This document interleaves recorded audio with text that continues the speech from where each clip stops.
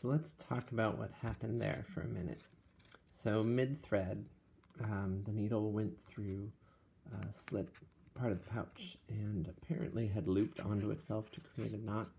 And oftentimes when this happens, you've yanked on the thread so it's pulled down very, very tight.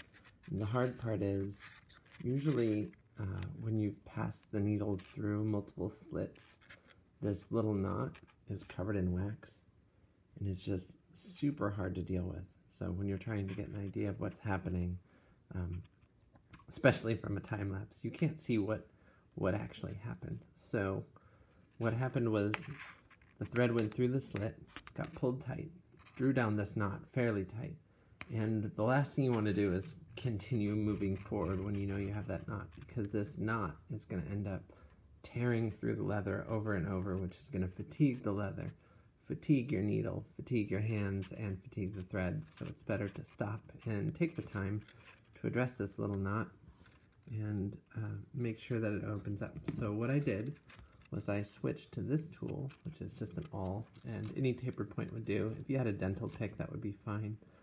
But generally, you just need a point that allows you to get inside your threaded portion just enough to pull the loop loose, right?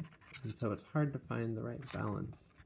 But you want to come at it from a different angle and then try and find the opposite loop as well. On the back side.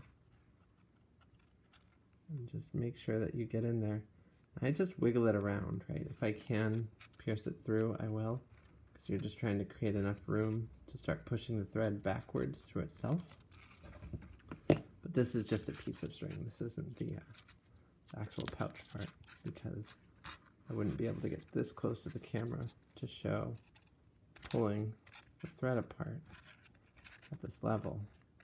And so once you get everything to open, it's really just about pinching gently. And you can do the same thing, right, with your awl coming through and making sure that it pulls loose. Once you get it to the point where your fingertips can handle it, you just want to make sure that you're pulling from the right side and that you're not just making the knot tighter again, okay?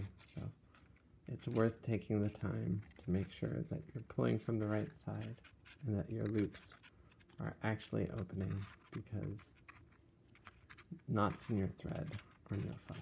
So once you get to this point, you want to chase down which side is your needle side and which side is your pouch side, and then draw the needle back through whatever the knot is. Okay, and that's really all you need to know, but it's perfect little interlude between the time lapse.